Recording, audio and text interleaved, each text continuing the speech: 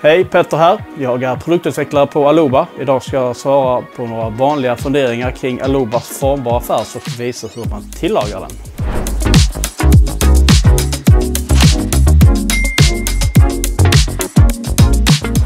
Alubafärsen cirkel bäst i en neutral olja som till exempel rapsolja eller en solrosolja. Och snåla inte, häll på ordentligt med olja.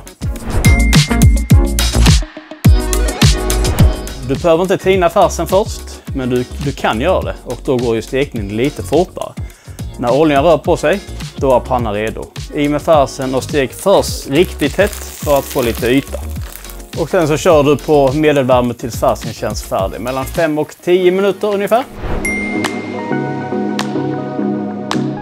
Eh, Alova-färsen är formbar precis som den här. Du behöver inte addera något utan det enda du behöver göra är att tina färsen först. Sen kan du forma till biffar, burgare eller bollar.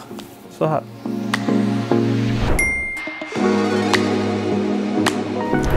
Du kanske funderar på om du kan hälla färsen rakt ner i din tomatsås. Ah, det bästa är att steka färsen separat och göra din tomatsås parallellt för att sedan slå ihop färs och tomat precis innan servering.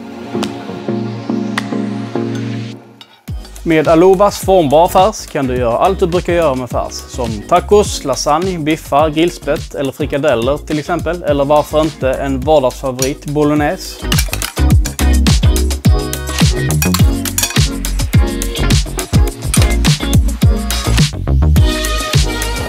Smaklig måltid.